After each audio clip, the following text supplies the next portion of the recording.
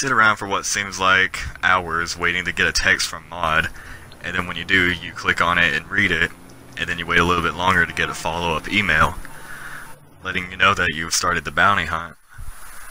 And then once you get the follow up email, you can go find the targets and kill them. There are five targets total, and once you kill them all, she'll tell you where the treasure is.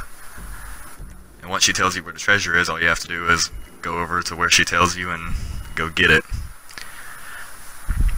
And then once you have it, you can kill 25 people with it to get bonus cash and an exclusive for it in Red Dead Redemption 2. There, just saved you 10 minutes.